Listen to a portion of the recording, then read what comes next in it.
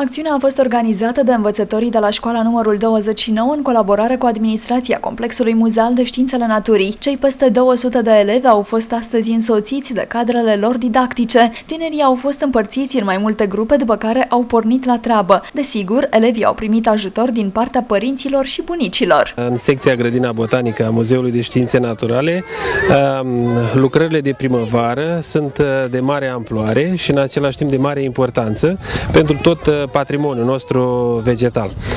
Ehm, aș vrea cu această ocazie să salut uh, inițiativa uh, doamnelor învățătoare de la școala numărul 29 pentru uh, această acțiune. Nu suntem prima dată la o asemenea acțiune.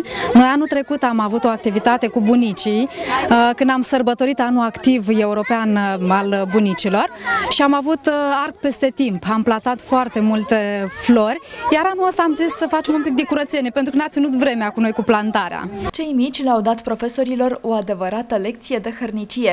Au umplut zeci de saci de buruieni smulse chiar de mânuțele lor. Am, am venit ca să, ca, ca să o ajut pe doamna să, să fac grădina botanică un, un loc mai frumos. Îmi place mult munca asta, mai ales că ajutăm mediul și luăm buruienile.